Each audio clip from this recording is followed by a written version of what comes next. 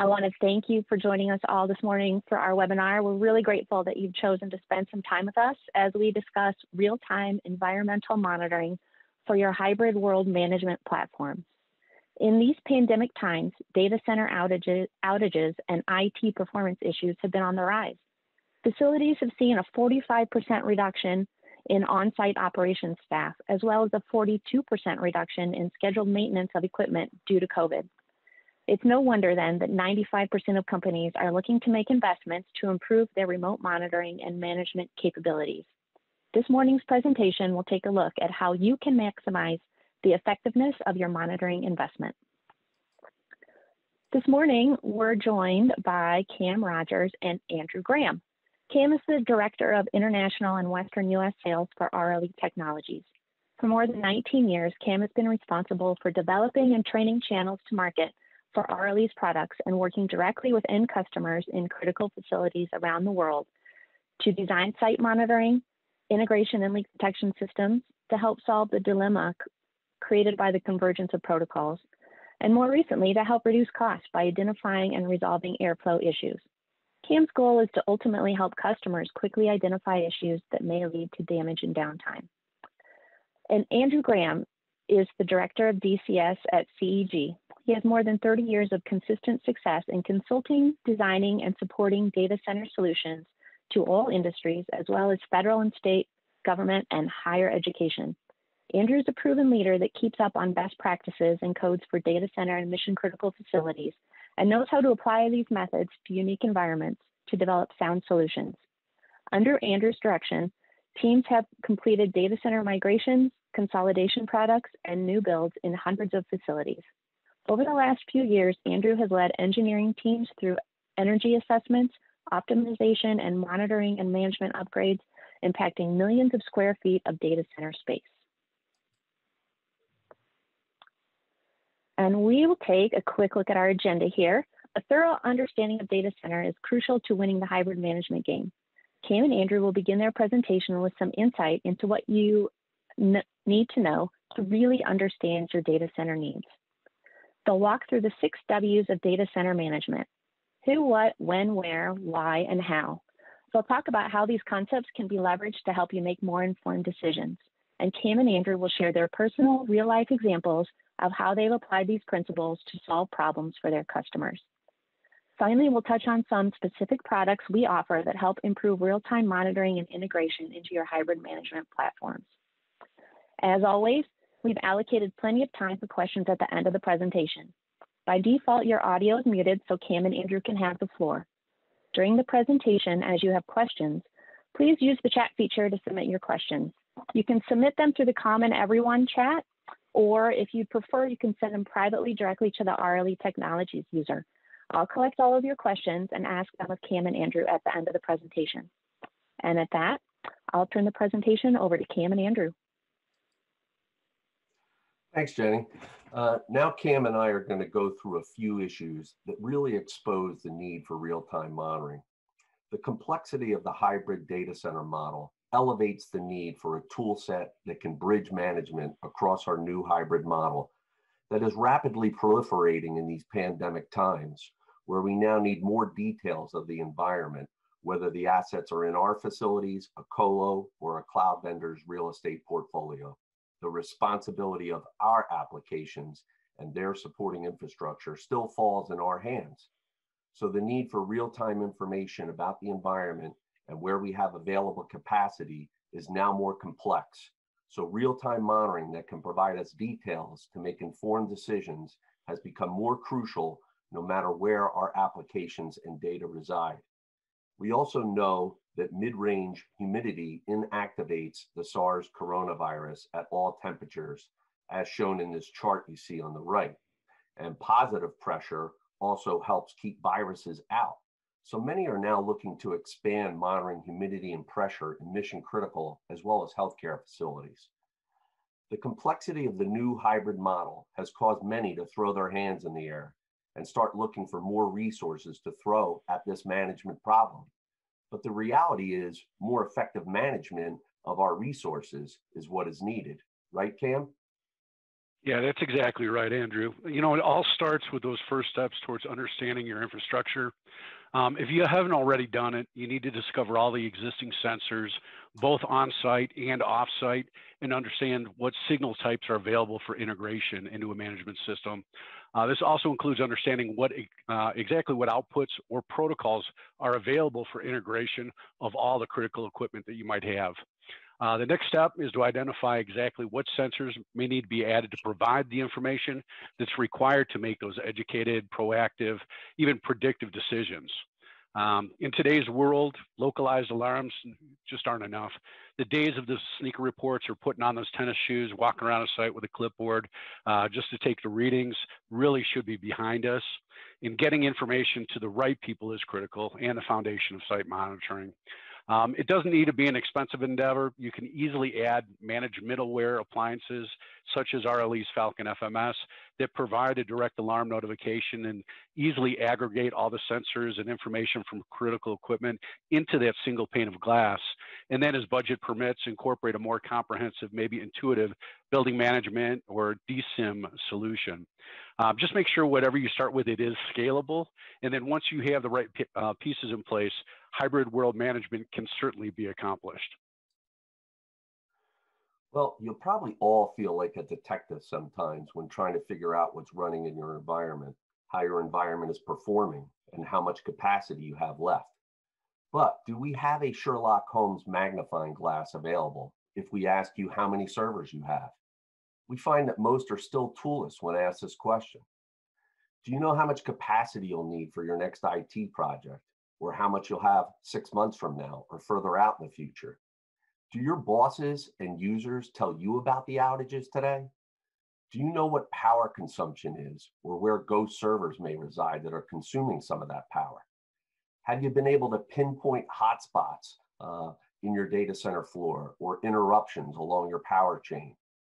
Most of us, unfortunately, are still living in a reactive world but the expectation of us is that we're proactive and soon moving to predictive, aided by artificial intelligence.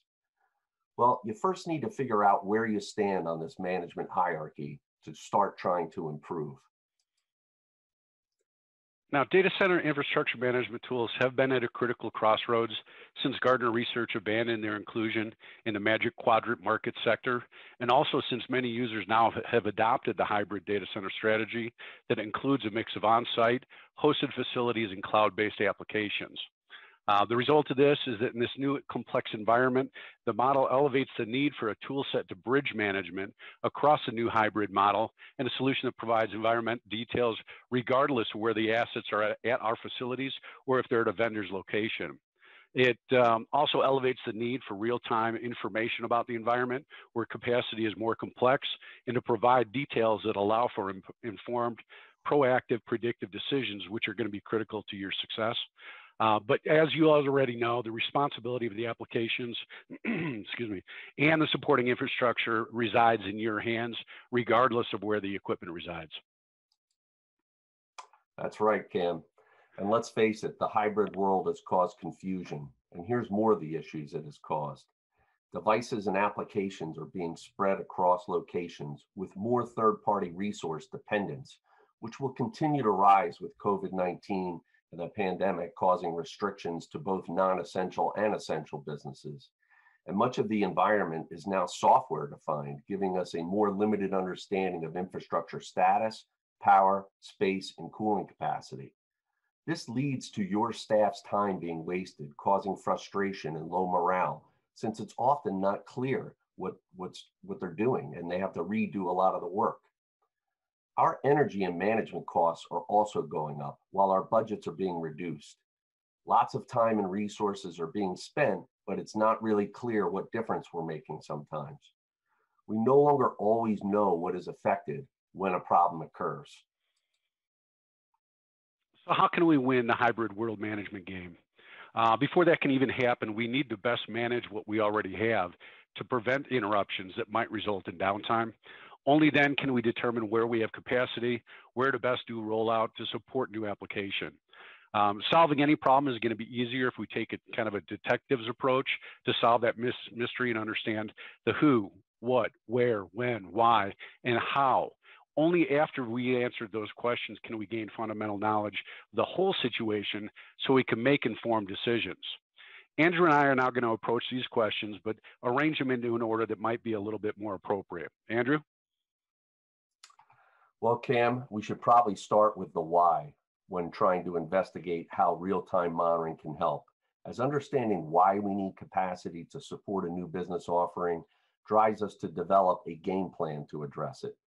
We also need to understand all of our objectives. For instance, why we need to improve productivity, why we're trying to reduce costs, why we're trying to ease deployment and management. Understanding why we need to eliminate the risk of surprises helps define the aspects we need to cover the other five W questions Cam mentioned, the what, who, where, when, and how.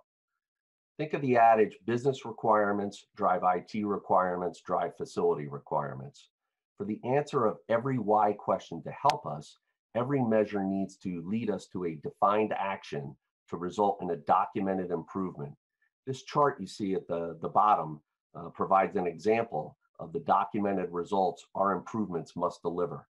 The first one, uh, an increase in set point temperature needs to result in lowering our energy expense. If the raise in the set point increases IT fan speeds, we may not get the desired result of lowering operating costs that we were looking for.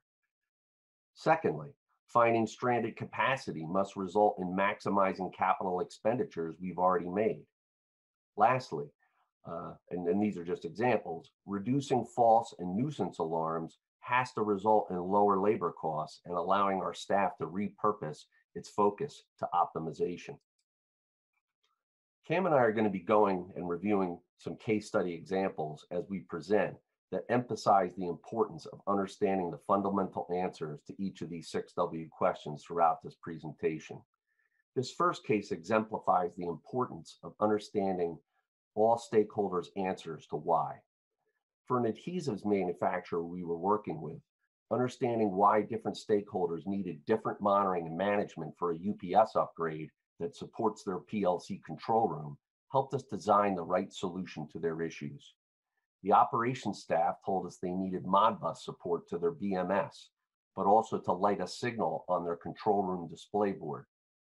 Their IT and network staff needed SNMP alerts of when they were going on battery and backup power and back to um, the UPS. We, we resolved this by installing an SNMP card in the UPS, RLE's FDS PC protocol converter, and a 24 volt relay to light the signal off the standard management and communication options available uh, for the small UPS we implemented.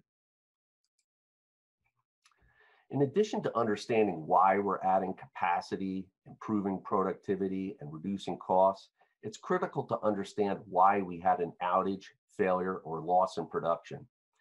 In this survey you see here, conducted by Ponemon Institute, they determined that if we had alarm monitoring with direct notification, we could have timely identification for 66% of the leading causes of downtime. If our tools become more effective in alerting the correct resources and giving them actionable sound recommendations on what to try to resolve the issue, we can reduce human errors as well. So improving on the other 34% of issues causing failure and downtime in our environments today. Cost of downtime varies greatly by industry. Understand though that the average cost per outage across all industries is about $9,000 per minute and about 750,000 per incident. Do you know what your cost of downtime is? This will help you determine the ROI for upgrades to your monitoring, management toolsets, and personnel. ROI analysis should absolutely be used to justify the monitoring and management improvements you need to make. There are also global concerns to under addressing why as well. Temperatures are rising, with eight of the last 10 years being the warmest on record. Sea levels are rising, and global weather disasters are escalating, ever increasing our potential for downtime. The 2020 hurricane season was one of the worst uh, in, for the record books. Data centers will soon consume about 4% of the global energy, which was only about 2% a few years ago. And if we consider all of the information communications technology our global electrical demand is for technology, as uh, the Nature Research Journal did, we will grow to 20.9% of all power with IT by 2030 if we don't change the path we're on. Maybe today you don't see or have responsibility for the power cost to operate your data center, but with ICT being one of the fastest growing sectors for energy demand, you can't be sheltered from the rising impact of this cost much longer. It's been challenging enough to understand our energy consumption on our own premises, but understanding our power consumption can get very difficult when we try to understand our energy impact out in the cyber world and in the cloud. We need to work with our providers to fully understand our usage and what we can do together to reduce this impact. Thanks, Andrew. Uh, now, what keeps managers up at night? I guess more importantly, what keeps you up at night? Data center management criteria varies for everyone. It even varies for each of the who's that we're going to talk about shortly. What it really comes down to is what assets, what applications, IT equipment, virtualization and cloud software are we're looking to manage and converge. In this new hybrid world that includes multi-protocol, multi-platform, uh, DCIM, BMS, NMS, BAS systems or solutions, what is the best practice to support and manage everything from power to cooling to even the physical layer? Now, most every site being unique, you need to decide what is important to you. You need to decide what you need to monitor, manage, control, and what will provide you with access to the needed information to allow you to react quickly and resolve issues and proactively manage your infrastructure. So it's been said many times, you can't manage what you can't measure. Now, certainly CFOs are going to always want to understand the return on investment for expenses made towards improved efficiency. And the only way to identify the impact that changes have is by incorporating appropriate monitoring systems and metrics to provide the needed benchmarks or starting point before any changes are made. Only then can you truly understand the imp impact that those changes have had towards improved efficiency. Um, in regards to what can we monitor, most every sensor on the market has the option that allows it to be integrated into a monitoring or management system. Uh, today, most critical equipment actually probably has more information available than you could ever use. So what metrics can we use? Um, two of the most popular metrics for site monitoring are power usage effectiveness or PUE or data center infrastructure efficiency or DCIE. PUE and DCI are, are similar metrics, but they're just basically inversely related uh, performance metrics. PUE is a measurement of how efficiently the data center and IT infrastructure, infrastructure utilizes its power with the PUE equaling the total facility power divided by the power that's used to power your servers, uh, the servers. A low PUE indicates a highly efficient data center environment, and DCIE equals the power used for the servers divided by the total facility power. So it's just a reciprocal of PUE, and in this case, a high DCIE value would be most desirable. There's really no reason to calculate both PUE and DCI since they provide the exact same information. And from what I'm really seeing, it appears that PUE is becoming the de facto standard of the two for monitoring efficiency.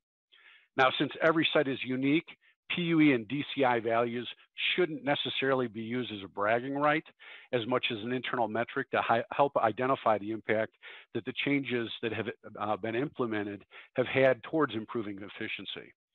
Certainly a site in Phoenix during the summer is not going to be able to compete with the PUE values from a much cooler environment in Canada where outside air can be used for, the, for, for cooling. Um, and as you may already know, RLE's Falcon FMS can display both the PUE and DCA as a standard feature using up to 32 values to calculate the metrics. Um, there are other metrics such as carbon usage effectiveness, IT equipment utilization, but you really need to understand and decide what metrics are important to you and your organization. Cam is absolutely right. We need to measure against ourselves on improvements, which in my opinion makes PUE a sketchy metric to begin with, as IT improvements alone show a worsening PUE when ratioed to facility power. So we're much better off at looking at metrics that capture and embrace any efficiency improvement. Cam spoke with you about meaningful metrics and users wanting to get the information that helps them make informed decisions easily without effort. And that's why PUE has been popular. Total IT power and facilities power are fairly easy to calculate. Today, most of us measure temperatures, humidity, and some measure pressure and velocity to determine cooling and airflow needs. What most IT managers want to see is cooling shown in kW demand, as they can then easily determine power consumed per rack and hence cooling needed per rack. Today, you see many of the cooling equipment manufacturers rating their equipment in kW, but we must look at the conditions needed for that rating. Also, will that rating drop over time? Corrosion and coagulation of water and refrigerant lines and productivity of older equipment we know goes down. At CEG, we determined that a new sensor was needed that could measure cooling enthalpy, which tells the whole story as the sensor measures the energy in the total air mass. And software then converts enthalpy into cooling needed per watts, which is closest to the miles per gallon metric we've all been looking for in determining cooling needs for IT. We're using these enthalpy gauges and software to determine exactly how much cooling air handlers are producing and how much cooling they can deliver to each rack through raised floor tiles. This is an example of how real-time monitoring can take the guesswork out of the capacity you have and entering real values into your modeling and management tools allows you to make informed decisions from real actionable data. Upsite reported that the data center industry was to waste 140 billion kilowatt hours, about $18 billion on inefficient cooling and lack of airflow management in 2020. So we know there is much to be gained and saved in getting better at this now in 2021. You know, the biggest danger of not understanding what is, you may invest in the wrong solution. An example of this is we were working with a university who thought they should deploy an active rear door heat exchanger, except they didn't understand that their application capacity need was actually very static. Most importantly, their BMS didn't have the chilled water controls to take advantage of an active rear door heat exchanger solution. If they had had better communications between the data center infrastructure manager, facilities manager, the business user, and systems management from the get-go, and had tried to realize that their data points from the test dev application, they would have realized that this application was static and didn't need an active rear door heat exchanger solution. So what do we do to, with the university to fix this going forward? Well, they now have processes in place to keep the various stakeholders involved and communicating through planning and testing to implementation and optimizing this production environment. Where we need to have capacity and where we need to monitor and manage issues continues to expand which makes keeping track of where all of our devices and supporting infrastructure is more challenging. So we need to develop and track a continuous process for looking where we can obtain capacity and where our performance is. The monitoring and management of where our devices and supporting infrastructure is has become more complex because it's no longer just a couple of data centers and communication closets. Add colos, clouds, IoT environments, and where we might run edge applications in the future, uh, adding that to our new hybrid mix. Can third-party resources, such as cloud providers, even tell us where our data is stored and where it is being processed? Depending on how important that cloud application is to your environment, what the cloud app's interdependencies are to the rest of your environment, and if we must know where that data is stored and processed to be compliant, determines how important knowing where third-party cloud data and processes are, and if we must have an audit trail for compliance, can the cloud provider document it and keep us informed? Proceed cautiously here. So far, I've actually seen many colo providers providing building management platforms to their users and giving them access, but I haven't seen this so much yet for public cloud deployments. Now here is a case example of where understanding the full spectrum of where there was capacity before trying to implement would have resulted in a more successful implementation into the production environment. We were working with a retail provider uh, that has a global presence and they couldn't figure out why they lost devices uh, in multiple racks when servicing their A-side UPS in their core data center. The client didn't know that some of the IT equipment only had single power supplies. Some of the device power cords were plugged both into the A side of the distribution. A firewall lost power due to an IEC power cord that was not properly seated in the outlet. And lastly, their third party IT managed services provider was plugging devices in to this production environment without understanding the redundant infrastructure. We resolved this issue by installing rack automatic transfer switches to address single power supply devices in the racks and implemented new processes with checks and balances that were put in place to address all stakeholders working together to understand the redundant power infrastructure. The stakeholders now work together to approve where equipment and applications can be installed to meet where the required redundancy resides so all equipment meets the desired objective for redundancy and availability. Thanks, Andrew. So in looking at the who question, in the past it was mostly who do we need to address within our organization to help resolve the problems? Or who can help determine capacity requirements? Um, who can help facilitate a rollout solution to increase capacity? The biggest concern was getting facilities and IT to share information and communicate. Um, it's always been hard enough getting IT and facilities sit down at the same table, but now we now also need to include service providers for the cloud, colo, MSPs, as well as our partners, clients, and vendors. Uh, we also need to understand if there's a problem, who should be informed and who should address it. Can we ensure that any alarms are routed to the right people in a timely manner? And who should focus on facility monitoring, IT performance, and making process improvements? They're the ones that are going to best, be best suited to address the new application or rollout. Um, in the event of any tools providing conflicting information, which might be nothing more than a nuisance alarm, another consideration is who's going to confirm that there's an, actually an issue on site before everybody goes into panic mode.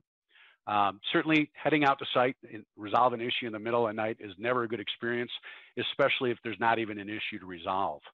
Uh, sometimes a person chosen to determine if a situation is critical is not always the best person to make that decision. For example, facility managers are going to have a different concern than an IT data center manager. And that leaves the stakeholder, a stakeholder or the person that is really held accountable for the damage or downtime responsible for poor decisions that are being made by others. So now the question that I need to ask you this, uh, ask you is this: Do you feel that the alarm notification that currently exists on your site routes alarms to the right people, or does it route alarms to the wrong people that can't necessarily resolve the issue uh, that they might learn about? Now, that subject's a very common problem that I see regularly, and it can easily be resolved with adequate monitoring, appropriate monitoring. Now, this case study kind of helps illustrate just how big a problem it can be. Um, I was working with a site and uh, data center manager contacted me and, and the biggest issue was that they had a managed service in their building that was responsible for managing all alarms. So all alarms were routed to the managed service. And uh, there was really no differentiation between critical, non-critical, and this managed service was kind of responsible for figuring out what was important, maybe what was less critical, and then getting those out. And in that case, it, it really resulted in significant uh, delays. And certainly, depending on the nature of a problem, those delays can result in damage and downtime that might be irre irreversible. So what we went ahead and did is we installed the Falcon FMS and provided uh, that granular monitoring and direct alarm notification for the data center manager. So he pulled all the sensors that were going directly to facilities into the Falcon FMS he went ahead and uh, uh, set those thresholds, who got notified, how they got notified, to the conditions that he was specifically concerned about. And then he went ahead and uh, passed that information back up to the, the management company, the facility management company, via um, common protocol, SNMP Modbus or BACnet. And what ended up happening was within a couple of weeks of them installing the system, he actually got notification of a, an alarm condition on site in the middle of the night he got out to site, resolved the issue, and got back home. And uh, he said a couple hours later, he was notified of that issue by the management, the facility management company. Now, had he waited that time uh, at that time and not been aware of the issue and resolved it as quickly, it could have caused some serious damage on site. Well, that's really great to hear, Cam, that they're they've gotten proactive and that they were able to address something before it came a, a serious issue. And some say timing is everything, of course. Well, certainly timing is important when we need to develop, support infrastructure for our new applications. Too many still think about when they need space and infrastructure after their application is ready and IT equipment is on site to be put into the production facility. Don't just think about when you need equipment available and running to implement an application. Make sure that you actually work back from your required go live date to cover all resources needed through each step of the implementation.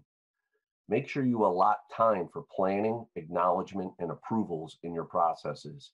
Most plans leave out the critical issue of allowing appropriate time for approvals, and then we get out of whack. Develop a monitoring and management workflow cycle like this one that you see here on the right to help you with planning, scheduling, and performance evaluation, allowing you to continuously develop and improve the management and optimization of your hybrid world. Also important is the when an incident or problem occurred. When was it reported? When was it resolved? And what was our total time to resolution of that issue? I'd like to know where our audience is in regards to being reactive, preventative, proactive, or predictive to incidents occurring. How many would deem their organization reactive, preventive, or proactive to when incidents occur? How many have advanced actually with a little artificial intelligence to predictive management addressing issues before the incidents occur, like Cam was talking about? What our industry says is most are still reactive to incidents occurring. When also becomes important on the timing of data getting entered and what values you are using. Nameplate, budgeted, derated, or actual values. Consider that ITAM, the International Association of Information Technology Asset Managers, determined that when we manually collect data values, we're only 85% accurate. Well, 85% sounded like a great test score when we were all back in school. But if we're making decisions on 15% bad, incorrect data, what is the impact of that on our decision making? In many cases, no data would be preferred to inaccurate data. Consider this example we show here on the right on power draw. Collecting real-time actual power draw, we determined that we could populate this rack with 14 servers without stranding any power.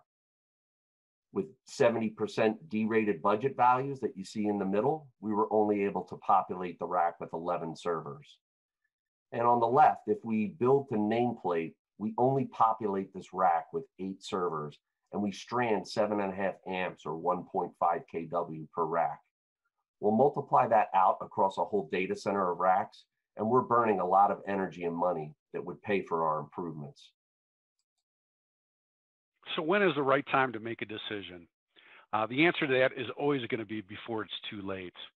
Now, unfortunately, I see, uh, I've, you know, a lot of sites that I've been in, um, I get out there and identify issues and threats, and unfortunately, decisions aren't made in a timely manner. I was out at a, a pharmaceutical company, did a site survey, and they actually had some utilities up on one of the upper floors and uh, that consisted of a number of valves and i identified no no less than i, I think it was 12 valves that were leaking. And um, the managers knew there were issues and they knew they needed to get leak detection but they uh, site managers uh, felt that well these these leaking valves have containment underneath them they have drains so it's not that big an issue we'll contain it and then water will basically channeled where it needs to go um, so what ended up happening, we put together a formal quote to put leak detection in to identify the threats if they became more serious issues. And the expense approval was not really a priority until a black water pipe actually ruptured above offices on one floor and that that uh, black water actually ended up raining down through those offices and then the next floor down um, actually damaging some blood analysis machines valued at about a million dollars each uh, literally causing millions of dollars worth of damage. Um, what we ended up doing was we installed a, a cost effective solution um, and, and, and, what I really recommend is, is start, something's better than nothing. Start small, at least get something in place. And then as budget uh, allows, go ahead and, and um, add more to it. you know, certainly any system that you look at, you want to make sure you're avoid, avoiding any kind of reoccurring costs. You want to go ahead and next year when budget allows, instead of putting good money into just keeping the system running, use that money to enhance the system. And then certainly make sure that each step that you take can easily lead towards that next step. Now, this case study kind of helps illustrate just how important the when really is. It also resulted in something that doesn't usually happen, whereas the person holding up the process that was directly and personally affected by their delay in making a decision that would allow others to get proactive. Now, you should always keep in mind that the costs of damage and downtime don't just include the hard costs for repairs.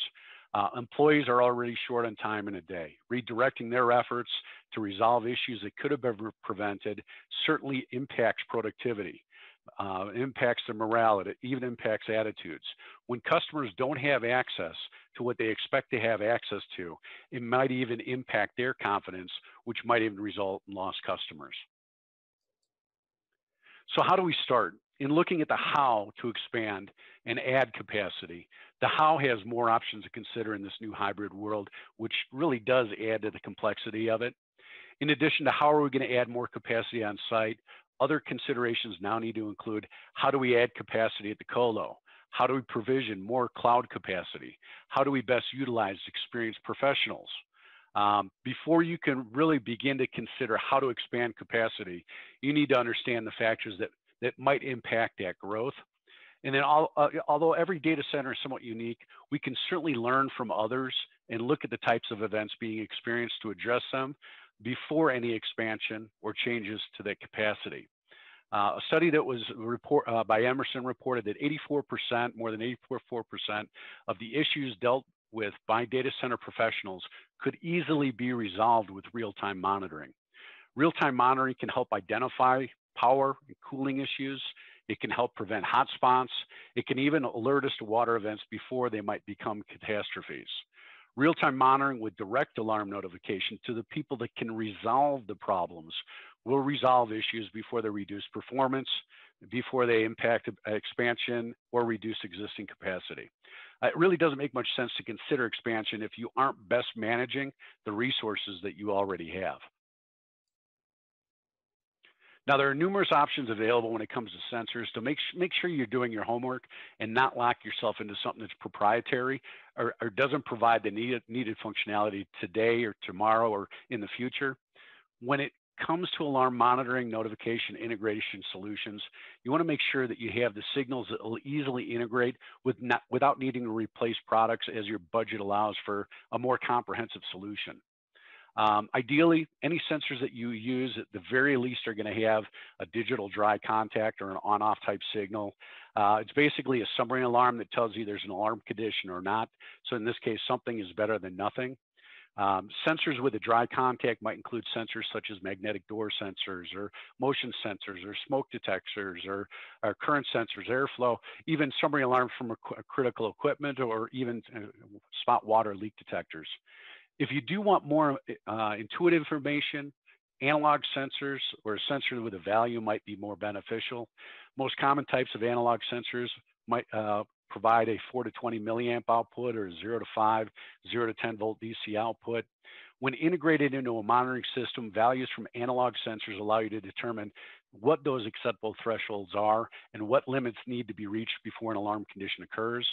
Uh, these types of sensors allow you to look at back at historical information for analytical purposes and identify trends that might need to be addressed. They also provide an ideal way to benchmark conditions before any changes are made on site to understand what impacts any changes being made have had towards improving efficiency. Now, always keep in mind that RLE offers a broad range of sensors that can help provide a comprehensive picture of the site uh, and even equipment conditions. Um, most new equipment that is being sold today, such as gensets or computer room air conditioners or computer room air handlers, PDUs, UPS systems, they provide in some cases more information that's needed, as I mentioned earlier. Even if you have older equipment, it might may that might offer like a Modbus RTU, which communicates over an RS-45, and maybe your management system may not easily accommodate that protocol, look for protocol, uh, flexible protocol converters such as RLE's our FDS PC uh, protocol converter that accommodates numerous protocols and devices with a single appliance. There's no need to use a protocol converter that only translates a single device. And also, even equipment with limited information can easily be retrofitted with sensors to provide you with information that you need. A CRAC unit can you can add temp sensors, humidity, airflow, power sensors. Uh, um, uh, list goes on, but to add intelligence and you can be able to pull information that you may not already have available from some of the older equipment. PDUs, you can incorporate branch circuit monitoring and identify the loads on each circuit and set those thresholds, what's acceptable and what's not acceptable. Uh, you can certainly make your racks smart by adding temp, humidity, airflow, even power monitoring at the rack level. You just need to understand what information is needed to allow you to best manage your infrastructure. Now, another subject that we need to discuss when looking at incorporating a more comprehensive site monitoring is the subject of wired versus wireless. Now, certainly wired solutions, historically, they really have been the only option. Still see a lot of people holding on to it and saying that's the only way to go. Uh, there are uh, much more uh, costly installation expensive running copper throughout the site. You also have the cost of copper itself. Uh, it is going to be a much more rigid installation, not as flexible. So as you need to move something, it's going to be a little bit more labor to do so. Now, we've developed the Wing wireless products, and, and certainly the, the, the right wireless products are really now becoming very widely accepted. We've had great success with our wireless products uh, because what we've done is we focus on the secure aspects by going with radio frequencies as opposed to uh, uh, an IP-based system. It help, really helps eliminate the potential for somebody to use it as an access point. Because we're using unidirectional communication, you can't open up a handshake and actually use it uh, again as an access point. Uh, the wireless systems don't require numerous IP addresses uh, and the maintenance of all those routers around the site because we are using a, a 900 or 868 megahertz frequency. The sensors communicate directly with the manager, and the manager resides behind your firewall, so very secure that way. Uh, the transmission distances and what we're seeing there is they're going to re require fewer report, uh, repeaters, so that's less hardware to manage and maintain. And we're also seeing battery lives with our products upwards of uh, really 12 years at this point. And, and honestly, that's uh, really not nothing like it on the market that's providing that kind of functionality. In RLE, and I encourage you to kind of take a look at our website, go into the Wing Wireless section. We have a whole section based on uh, covering all the different sensors that we offer uh, to help you really get that big picture of what's going on within your facilities. So when considering how, it's not just how we'll add capacity or improve, like why, we need to understand how we had a failure, a loss of communications, or a reduction in productivity. How was there an IT or facilities equipment failure? How did our staff respond? Did they fail? For our case example on how we made how made an impact to an issue and a failure, I was working with a financial services company that was getting high temperature alerts on equipment deployed at a colo facility. The colo went out and checked the rack and insisted that the client must have a faulty or non-calibrated sensor in their IT equipment. So the client went out and visited the colo facility and found that the colo was only measuring the air temperatures at the supply perforated tile, but that was per the colo's SLA. But there was an adjacent cage that had their exhaust air aimed at the client's cold aisle. Well, the Colo, of course, said they'll work with the client to address it, even though the SLA only said they were responsible for the supplier attempts to the perforated tile. Ultimately, the re resolution is the Colo has since changed their policies for clients occupying cages on rack orientation and containment. Client uh, installed their own rack inlet and exhaust temperature sensors in the facility so they would always know what's going on and being alerted to issues in their racks. Now Cam will actually highlight three product lines RLE offers to improve real-time monitoring and integration into our hybrid management platforms. So there's no doubt that identifying those threats bef before they become serious, um, it's really imperative. And now since 1984, RLE Technologies have been providing solutions to address and overcome many of the problems that were discussed today. Since RLE products are engineered and designed to be both standalone with direct alarm notification and get alarms to the right people who can actually resolve the issues that have been identified, and also integrated solutions that pass aggregated information to a more comprehensive BMS, NMS, or DCIM uh, system that can easily be used as scalable solutions. In addition to RLE's comprehensive uh, Seahawk leak detection products, RLE also offers a single source solution to be able to provide many of the other sensors that may need, may need to accomplish effective site monitoring. Our Falcon wired and wireless systems uh, really uh, help solve the uh, dilemma of providing visibility to equipment and even existing sensors wherever they might be located in this hybrid world. They also ensure that the right people are aware of conditions and all the information can easily be integrated into another management system to allow for those educated and informed decisions. Um, if the hurdles you're facing include protocol translation, our Raptor integration products might best suit your needs. I strongly encourage that you spend some time on our website, review RLE's products offering, and even watch some of the previous webinars that recorded that are now posted on our site for additional information to ensure that you're using all of the tools that are available to you. So in wrapping up, we hope that we have demonstrated that although we're not trained as detectives, taking this Sherlock Holmes approach, answering the six fundamental 6W questions of why, what, where, who, when, and how, allows us to solve the mystery, to understand the capacity and processes needed to resolve issues, and provision additional capacity as we build, manage, and operate our new hybrid world. Monitoring is the foundation for all of our management and optimization tools, including building management systems, building uh, automation services, data center infrastructure management, help desk, IT asset management, and energy management services. So we must recognize what monitoring is still needed for all of our tools, what we need to know, uh, what monitoring we've already got. Can existing monitoring we have be integrated into all the tools where this data will help? Or are protocol converters needed? Don't waste valuable funds and resources on deploying monitoring for each stakeholder's tool. Can we consolidate the management suite as well? Should we try to get onto a single pane of glass? Is a single pane of glass going to be too congested and complex or even feasible for managing our new hybrid world? We must determine if we need additional monitoring and if the monitoring is calibrated, accurate, and real-time enough to integrate this data into our suite of tools so that we can effectively plan, model, operate, manage, maintain, and optimize our hybrid world.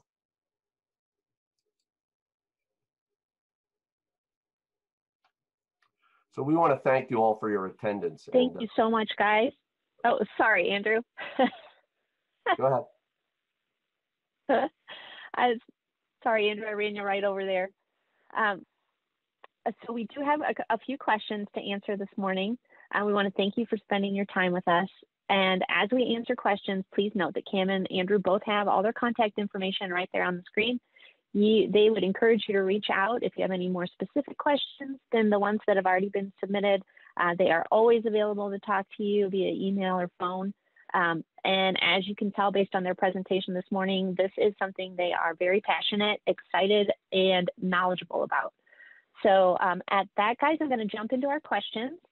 Uh, first one we have is uh, the tool that show that you showed that measures cooling capacity of air handlers and for perforated raised floor tiles, is that something that's available for purchase? I'll take that one, Jenny. Um, so the uh, cooling enthalpy gauges and, and, our software controller is actually called Mass Airflow. Uh, we, we are early in the process, but uh, we have done a couple of proof of concepts. It is pat patented technology and it's working well. Uh, and we are using this tool uh, both as a service uh, and, and, as a solution uh, for clients. Uh, we found, you know, it definitely helps to, you know, have us on site initially for the implementation uh, to determine, you know, how much the air handlers are producing and to, you know, evaluate the, the tile locations and the IT rack needs.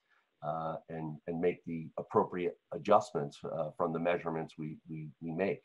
But some clients absolutely are interested in deploying the, the solution uh, so that they can continue to, to monitor uh, the, the capacity coming out of their air handlers in particular, uh, as well as having that balometer like device that we have to go around from tile to tile. So the answer is both. We're, we're providing it as both a service as well as a, a, a solution that the client can use to continue to monitor and optimize their environment. Thanks, Andrew. Uh, it looks like the next one is probably uh, targeted toward Cam. Uh, Cam, you talked about the Wing Wireless sensors um, and a 12-year battery lifetime. Is that really the expected battery lifetime? And is there a way to monitor how much battery life is left in those sensors before they fall offline? Thanks, Jenny. Yeah, definitely. Um, the, the, the, battery life itself, there's a couple of factors that come into play. Now, the full operating temperature range of the sensors of the wing products, we're looking at really negative 13 degrees Fahrenheit to about 185 degrees Fahrenheit. The temperature will impact that battery life. Um, if we're looking at something comparable to a kind of a room temperature, uh, where we are specifications as far as our engineering specs uh, do claim that we're going to have about a 12 year battery life. Now, if we're looking at something that might be more extreme, at running at 13 to negative 13 or closer to 185, that could certainly impact the battery life, and it might be around five years. So it really comes down to the environment that these uh, are being used in. Um, now, I do know that we have sensors here in our offices at RLE that have been up, up and running since the, the release of the Wing product four years ago that are still reading pretty much uh, a full battery. So um, you know, that information is available through the web interface. You, when you log into the unit for each sensor, you can actually see the signals or the battery strength. You can set alarms based on that battery strength, and you can even set uh, uh, counters. So after eight years, let's go ahead and, and start swapping out batteries or 10 years or whatever you decide you want to do. So if you had a couple hundred sensors, it's not that you need to be changing. You're not doing it all within, you know, a couple of weeks, hoping to beat the clock, so to speak, at the end of that uh, battery life. But you can actually schedule that so you get an alarm notification or a reminder letting you know that uh, it, it might be time to get out there and start thinking about replacing batteries. Thanks, Cam. Uh, this one's, uh, the next question is related-ish. It's also about environmental sensors. Uh, do they need to be calibrated and will they require calibration? Okay, great question. Uh, the elements that we're using for those sensors are calibrated and tested by the manufacturer before we get them um, and incorporate them into our final assembly.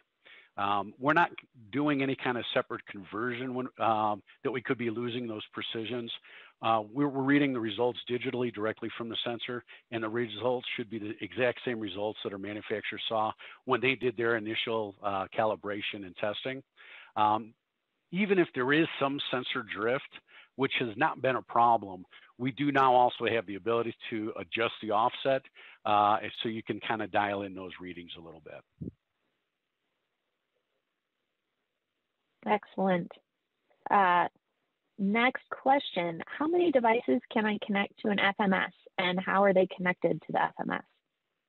Okay, I'll take that one again. Um, what we've done with the FMS is it, it is very scalable. So again, it's designed to accommodate third-party sensors that might already be on site. Depending on the option cards that are added, we can have as many as 104 hardwired inputs. Um, if we're looking at integrated devices, UPS or gensets or CRAC or CRAH units, uh, we can actually have as many as 32 appliances connected, communicating via SNMP, Modbus, or BACnet protocols.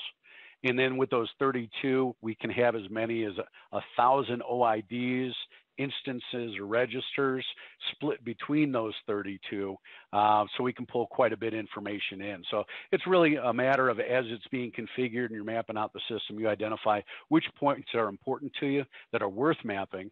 And then you might you know if you wanted to pull a thousand points out of one device you can do that. If you wanted to split the the, the, the thousand values between 32 you can do that as well uh, another nice thing about it is because of what we've done with the uh, units being able to integrate into others, if I had one FMS with 32 devices, well, that would act as kind of one device, I could have 32 of those devices all communicating back to another FMS. So I, now I'm in, in essence, I could have, you know, visibility to over a, over a thousand locations uh, just within a couple of clicks. I'll add to that too that um, you know that's one of the, the unique things we've seen with RLE, and uh, it's very appealing to a lot of our clients is that you can nest the FMSs and manage you know thousands and monitor thousands of devices uh, without annual software licensing and fees.